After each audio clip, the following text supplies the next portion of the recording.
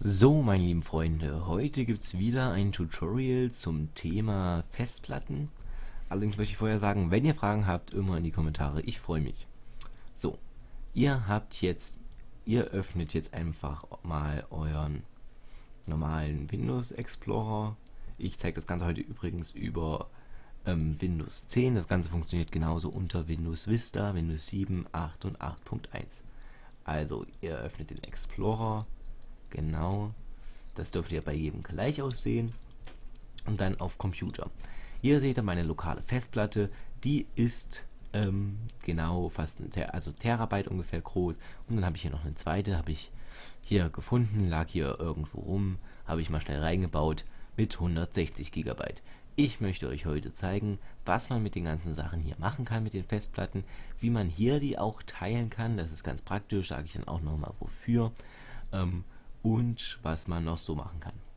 Genau, um das alles aber überhaupt einsehen zu können, geht ihr hier in eure Suchleiste, gebt ihr ein Computerverwaltung. Da steht es schon, Computerverwaltung.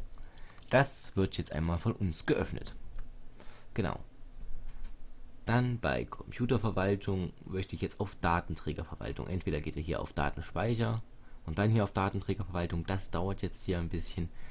Ähm, kein Problem kann mal ein bisschen dauern. Ähm, genau, hier ist es schon. Und ich will mal gucken, ob man das überhaupt so suchen kann. Datenträgerverwaltung. Datenträger.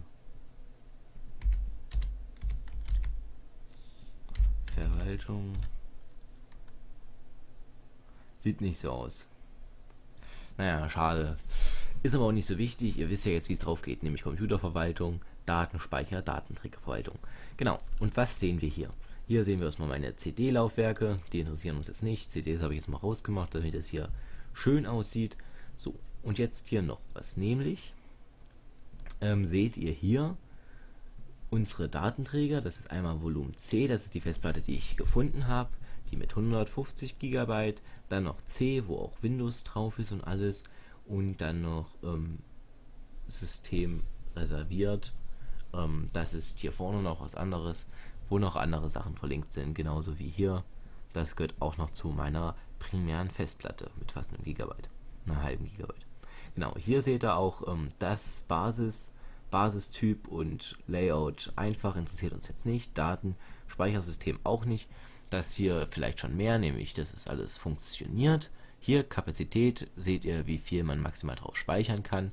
Ähm, das ist auch eigentlich ganz einfach zu verstehen. Und hier, das ist vielleicht noch interessanter, freier Speicher, wie viel Platz wir jeweils noch haben und das Ganze nochmal prozentual angegeben, wie viel noch frei ist. Genau. Ist an sich ganz, ähm, ganz einfach. So. Ähm, was ich jetzt im Internet gesucht habe, was ich nämlich wollte, dass man ähm, eine Ver Festplatte mit einer anderen verbindet, damit sich das alles äh, ineinander überschreibt, ähm, das geht leider nicht. Man kann nicht zwei Festplatten nebeneinander verbinden. Das heißt, es wird für euch immer so hier aussehen, dass ihr die mehreren Festplatten auch so drin haben werdet. So. Aber eine andere Sache könnt ihr machen, nämlich ihr könnt das Ganze teilen. Welchen Sinn hat das Ganze? Ich zeige es euch kurz. Ähm, ihr könnt einfach die restlichen 170 GB, die ich hier überhaupt noch frei habe, ähm, die kann ich jetzt einfach einzeln splitten, dass ich ein weiteres Laufwerk habe und ähm, das empfehle ich, wenn ihr eine neue Festplatte habt, splittet das am Anfang in mehrere Teile. Das könnt ihr dann dafür handhaben, dass man in den einen Musik macht, in den anderen Filme, in den anderen Spiele, was weiß ich, dass ihr das für euch so sortiert. Das ist zum Beispiel auch noch eine Möglichkeit, die man hat. Ganz interessant soweit. Das zeige ich euch jetzt, wie das funktioniert. Nämlich, ihr geht hier auf Computerverwaltung und geht jetzt hier auf Format Volumen verkleinern. Das dauert jetzt eine Sekunde, da wird nämlich dieses, dieses Programm jetzt ausgeführt. Verkleinerung des Speicherplatzes wird abgerufen. Das lädt ein bisschen. Ich warte kurz. Ähm, genau, hier. Das ist der Gesamtspeicher, wie groß die, diese Festplatte ist. Dann hier noch Verkleinerung verfügbarer Speicherplatz. Seht ihr hier noch, so viel kann ich verkleinern, weil der Rest ist belegt. Dann kann ich auch noch angeben, wie viel ich verkleinern möchte oder wie viel nicht. Und Gesamtgröße nach der Verkleinerung wird so groß sein. Ich drücke jetzt auf Verkleinern. Das lädt jetzt wieder einige Sekunden. Ich würde euch übrigens nicht empfehlen, das so zu machen, wie ich es mache. Lasst immer noch mindestens Giga, 2-3 Gigabyte noch Platz. Es gibt nämlich immer Windows-Updates und das dreht dann alles durch, wenn dann auf einmal kein Speicherplatz mehr da ist. Genau, das lädt jetzt sogar schon etwas lange. Kein, kein Ding, wir warten einfach noch mal ganz kurz. Ähm, wie gesagt, das ist dafür gut, ähm, um die Dateien einzeln zu splitten. Ähm, ihr wisst ja auch vielleicht, wie eine HDD-Festplatte aussieht. Nämlich, das sind so ganz viele einzelne VCDs untereinander, die beschrieben werden. Wenn man das Ganze jetzt teilt, ist es auch für die Festplatte leichter, das Ganze zu suchen. Was sich allerdings dann häufiger empfiehlt, ist das Defragmentieren. Das ist an sich auch ganz einfach. Ich zeige euch das Ganze jetzt mal. Ihr geht nämlich hier drauf, Rechtsklick Eigenschaften, dann auf Tools, sondern auf Optimieren und dann kann das hier fragmentiert werden. Ist an sich ganz einfach. So funktioniert das Fragmentieren. Ähm, genau, und ähm, dadurch sortiert das praktisch die Dateien ineinander ähm, in dem Datenträger. Das hat zur Folge, dass auf alles schneller zugegriffen werden kann.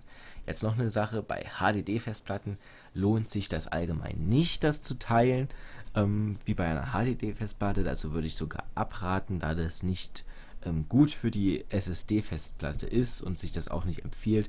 Du da hast dadurch keinen Gewinn, sogar einen Daten, Datengeschwindigkeitsverlust. Und ja, das ist an sich ziemlich doof. Ich frage mich jetzt mittlerweile, warum das jetzt so lange dauert. Ähm, ich mache jetzt hier ein kurzes Cut, bis das fertig ist.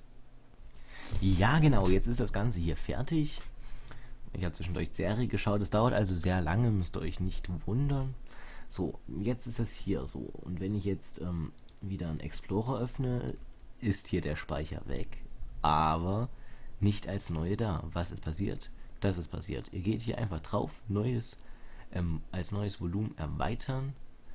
Ähm, dann einfach immer weiter, weiter, weiter, weiter fertigstellen. Müsst ihr nicht beachten. So, grün eingebunden, formatiert, fertig. Ähm, so, das Ganze hat sich jetzt geöffnet und tada, hat sich jetzt hier 25 GB neuer Speicher. Es ist hier 25 GB neuer Speicher. Den könnt ihr jetzt nutzen, um zum Beispiel Musik draufzuladen. Würde ich jetzt machen. Ich möchte das allerdings nicht, also mache ich hier wieder. Wenn ihr das wieder zurückhaben wollt, macht ihr löschen. Keine Angst. Der ist jetzt gelöscht, grün markiert ist jetzt hier auch nicht mehr dabei. Und jetzt macht er hier Rechtsklick.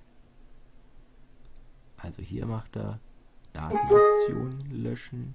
Jetzt ist er nicht zugeordnet und hier erweitern, weiter, weiter, fertigstellen. So, und jetzt ist das Ganze wieder 1. Und der Speicher ist wieder da, wenn ich hier auf Aktualisieren gedrückt habe. Genau, 135 GB. Falls also das hier bei euch weg sein sollte, das hier, und ihr habt eine CD, ach, ah ja, ihr habt eine CD, sage ich schon. Ihr habt also, ähm, ihr habt jetzt eine neue Festplatte, ihr habt eine neue Festplatte reingesteckt. Die ist also allerdings hier nicht angezeigt, obwohl sie da ist, geht ihr auch einfach hier rein und klickt dann hier auf ein neues einfaches Volumen weiter, weiter, weiter, fertigstellen. Düdüm, düdüm. Und das ist auch fertig. So einfach ist es. Ich hoffe, ich konnte euch helfen. Ihr wisst jetzt so ein bisschen darüber Bescheid. Haut rein, meine lieben Freunde. Lasst es euch gut gehen. Bis denn. Ich freue mich über ein Abo oder einen Daumen nach oben. Genau, schreibt in die Kommentare, falls bei euch was nicht funktioniert oder ihr irgendwelche Fragen habt. Ich antworte immer gerne. Haut rein. Bis denn. Ciao.